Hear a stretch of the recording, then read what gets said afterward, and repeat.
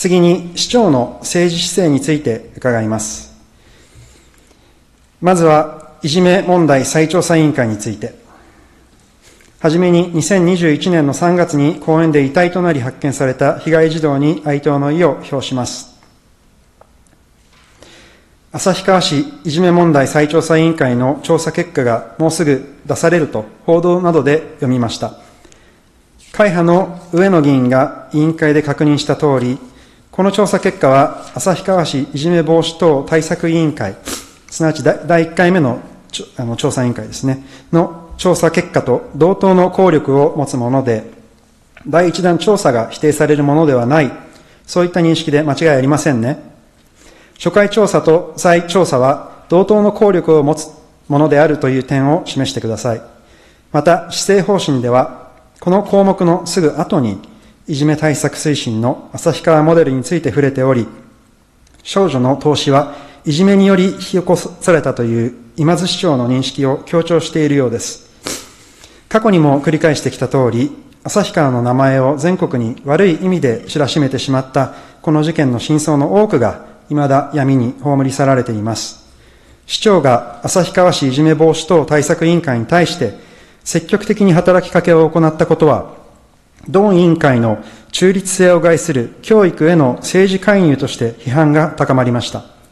市長はその後、公開版でも165ページもある同委員会による調査報告書をたった一晩で読み上げ、翌日には再調査を決定しました。再調査委員会の委員長に選任された小木直樹氏は、子ども家庭庁の創設や教育委員会の解体などを公言してきた人物でしたよね。この人物によるいじめによる自殺の、あ、この事件をいじめによる自殺の構図のみに当てはめ、事件の真相が全くわからぬ状態で、旭川モデルなるものを打ち出し、それをもって子ども家庭庁のいじめ防止対策事業に申請、採択をされているのは、まるで出来レースのように感じるのは私だけではないはずです。最初の調査も、現在結論を待っている調査も、どちらも税金を使って行われたものです。市長がこれまで間接的にも非間接的にも繰り返してきたように、この旭川市の事件が本当にいじめによる自殺事件であるならば、札幌で起きたいじめ事件の報告書のように、黒塗りを外して市民に開示すべきではないかと考えますが、見解を求めます。次に、いじめ問題再調査についてでございます。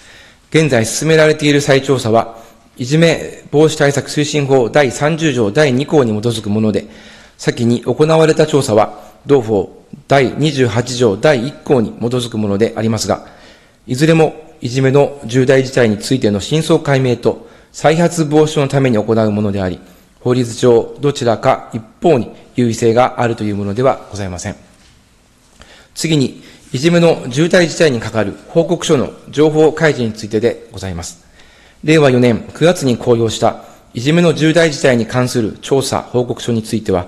教育委員会において、情報公開条例はもちろんのこと、ご遺族のご意向を最大限に尊重しながら、非公表とすべき部分にマスキングを実施した上で公表したものであり、札幌市においても同様の考えのもと公表したものと認識しております。